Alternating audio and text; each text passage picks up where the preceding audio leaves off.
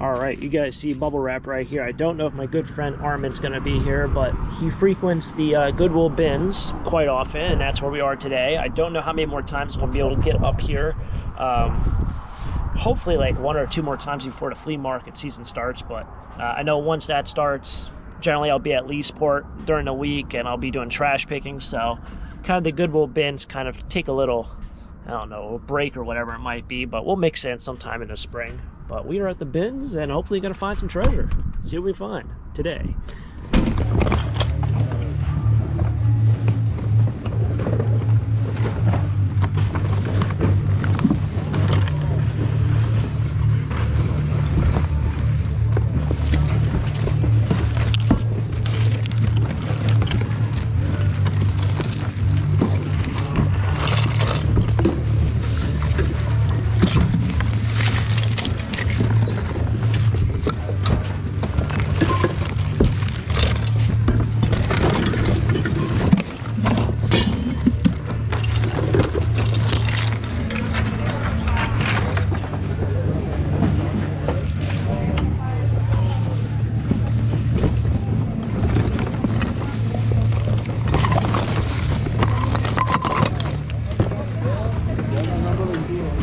Just found this whole bag of buttons.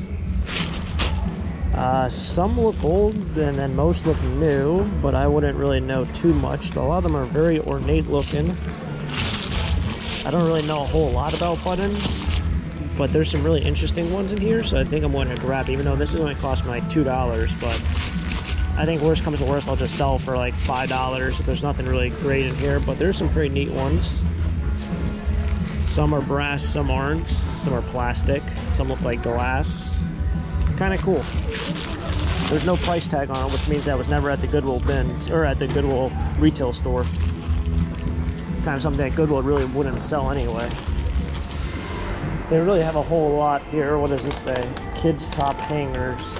That's it. Nothing really. Bicycles. If you need bicycles, got a whole bin of them. Just kind of like in their corner section. These are in pretty rough shape, but as you see, I guess no one's buying them because they're still here. But yeah, they got like duct tape on them. I guess they just decide they'll put them out here. I don't know if they came from a store or they were dropped off here, but there's your bicycles.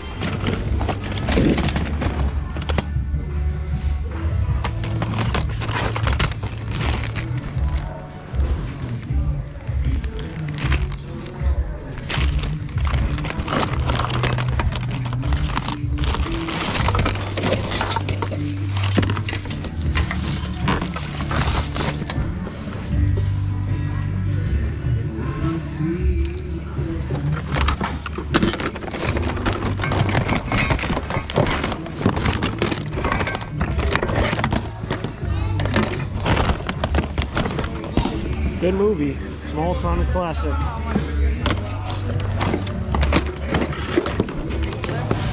Also a good movie.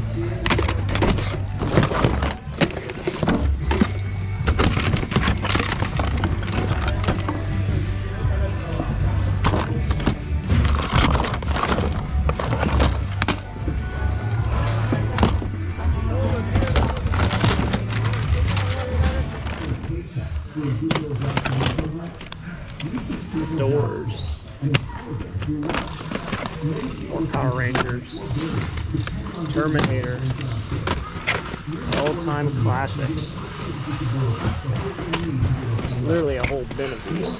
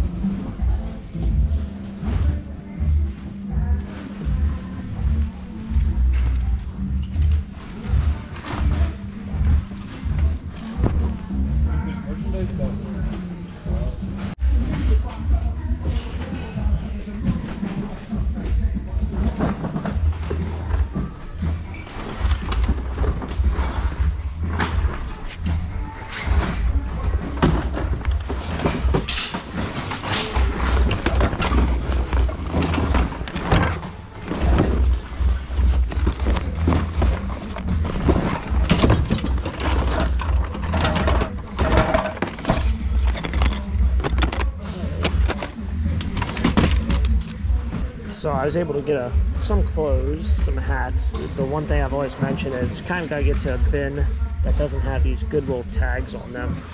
That's what these are. Mention pretty much every video, but that's kind of like the unpicked stuff, or at least not seen at a retail level. So whatever bin I got, I got a hat and some other items that have no tag on them. It's kind of a nice $195. What?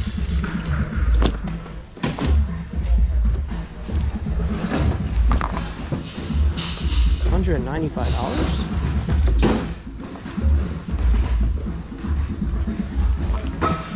Maybe. Thank goodness for a Google search because I just found it for 200 bucks on psychoticaleopard.com. It's the same bag. I just took a photo of it. The uh, the thing didn't scan, but I think I gotta get it. I gotta see what they're going for on eBay, but $200 right there. Same bag. I remember having one of these as a kid. I think I had an Eagles one. It was the most uncomfortable thing in the world. This is uh, this is a true beauty. This isn't a, like, I guess it is a toy, but it's not. It's like the heavy duty toy. Did get this one. That's kind of cool. Got some shirts, got some Blu-rays, got the buttons, got this cool little thing here. Uh, I did pick up the bag. I think the bag is probably the best find here. Um, it will need to be cleaned on one side, but it looks like it's brand new. And then guess what? got suckered into buying one of these. Um, this is hand sanitizer. It's not the same bottle as you guys saw as before. It's actually, uh, it's a different bottle but there's four in here and it was only a dollar and they're pretty large but I use like the spray hand sanitizer and uh, it needs a liquid so that's the liquid. So I made it uh, I made it back. Armin never showed up at the bins today. Uh, I was going to ask the guy who I, I usually talk to I think his name is Josh. Um, he usually buys books there if you need a bubble wrap but I didn't see him today so I guess I couldn't ask him. But yeah I brought bubble wrap for Armin and uh, he was a no-show. But I think he had to go to uh, I think Harrisburg or I think it was Harrisburg for something else. So that's why he texted me back anyway. Uh, I did find some cool things anyway at the bins. As you guys saw, the hand sanitizer. There's so much here, but that's literally all hand. It looks like water. Um, for the spray caps, because that's what I use for like the travel um, hand, san hand sanitizer. This stuff uh, is the liquid they put in the, the spray uh, spray bottles. So that stuff's good. I'm sure it's probably very expensive. It was a dollar for the case, so it'd be four bottles, and uh, it's a good buy. There's a lot there.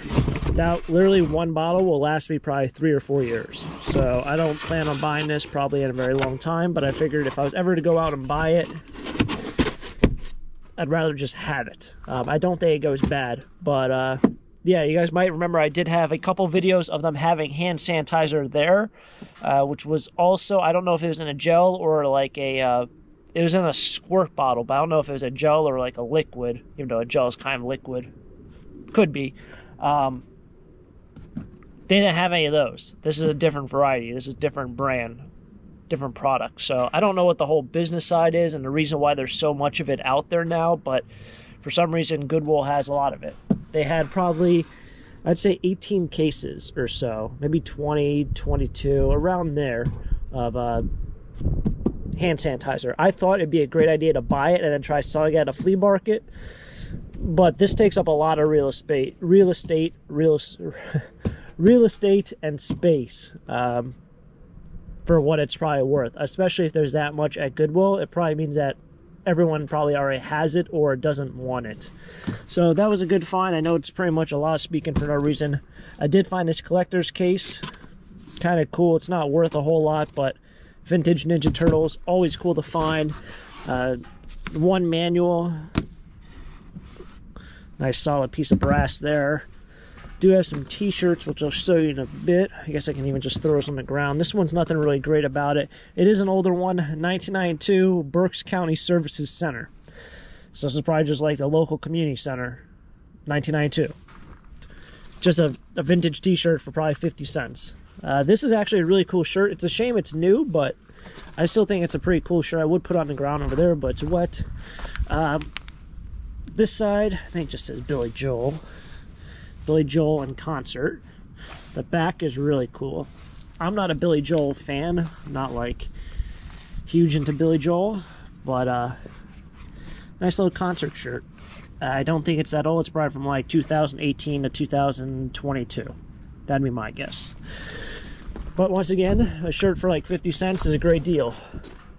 Handful of other things. This older starter, it says 1997, so that's probably when it's 97 or 98.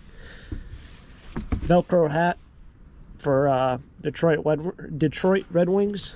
Uh, probably like one of the very few vintage things I was able to find today. I did pick up the bag, did a little bit more research. I am not an expert in this. This is like one of the things I know very little about. I know what quality is, but I can't tell you like brand names and what things are worth. I looked up this brand, the Will Leather Goods, and it seems like you can probably find a lot more research or information about this bag, but it's fairly heavy. Uh, probably the majority of my weight majority of my total payment, which was $22, probably went to this. This thing probably cost me like 10 or 12 bucks by itself, but it's a really nice messenger bag, and hopefully I'll be able to sell it. Got some Blu-rays, got the buttons, pretzel tin. I got this because it's probably worth about five cents there, so I figured I might as well grab it. This was kind of shocking. This is, uh, I found a football helmet, not the one that I showed on camera, or at least the one that I don't think I I think I showed a Steelers helmet. I can't remember. I document a lot of stuff. I don't know what makes the final clip until I actually post the video. Um, but there was another football helmet, just like a high school helmet. Weighed a lot. I wasn't going to take it, but I took the uh, the shield off of the helmet because if you look up Z Leader visor, football visor on eBay, they're worth a decent amount of money for just a visor. And I thought maybe I, I, I, took it off before I looked it up. Um, I thought maybe people would just want the name brand visors like Oakley, or maybe I think Nike makes one, but definitely Oakley. So I didn't really expect someone to really want this, but it seems like it's actually, actually worth a decent amount of money. So I grabbed that. Uh, lastly, I did pick up one golf club. Golf clubs there are 47 cents. And uh, this one's a decent one. I'd like to say it's worth between 30 to $60 on eBay. It's a Nike putter. Nothing really crazy about it other than that it's made by Nike and it's a putter. But 30 to 60 bucks, it only costs 47 cents. I would highly advise anyone out there to try to pick up golf clubs if they're that cheap, if they are name brands like Nike. Uh, stay away from the older stuff, the stuff from the 90s, stuff from the 80s and prior. Uh, usually, what I would say, like kind of like uh, baseball cards or sports cards, there is a large portion of time where the cards or clubs or cards are worth virtually nothing. Um, and realistically, rather than trying to figure out the one or two items from that time period in whatever categories, let's say golf clubs, from like the 1960s to like the 1990s, rather than try to find like the one or two golf club brands that have the certain series, the certain model, just say to yourself, anything from like the 60s to the 90s for golf clubs are probably not worth paying more than a dollar for. That way you're never like, oh, well, I should pick this up, and 99.9% of it is just has no resale value. That is if you're doing eBay or doing reselling any sort of category. If you want to collect for yourself, go ahead. Um, but it's like sports cards. A lot of the cards from like the 70s up until like the 2000s really aren't worth anything. So when you come across a huge case of 1980s, 1990s sports cards, there's going to be maybe five or 10 cards in there worth more than two bucks. But is it really worth it to go through the entire case, whatever it might be, for those five or 10 cards that may or may not even be in there? I don't know. That's up to you, but I wouldn't go out of my way and kind of pick up every single sports card I have just to maybe find those five or ten cards. Similar golf clubs. Anyway, it's a long spiel. I'm getting kind of cold. It got really chilly. I was going to do the flea market today, but I said, you know what, screw it. It's going to be so windy. It's going to be cold. And I'm glad I didn't. Fun day at the bins. Hopefully, you guys enjoy. If you guys enjoy, hit the like button, subscribe down below, and uh, catch you guys next time for our next venture. Till next time, have a great day. Keep living a dream. Peace.